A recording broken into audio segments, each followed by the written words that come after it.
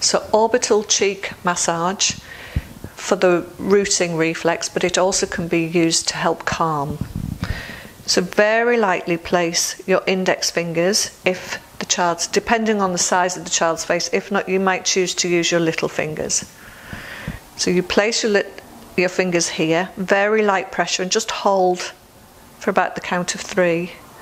And then we're just going to go around quite slowly at intervals and hold the orbital cheek bones.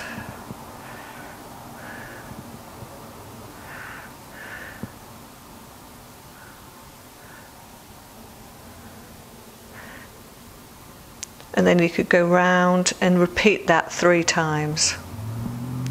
The next movement that goes along with this one is you start with your fingers here you move your fingers down to the corners of the nose till you get to the cheekbone and then pull up. So again, you sweep down quite gently to there, hold, and then pull up. These can be done separately or they can be done together.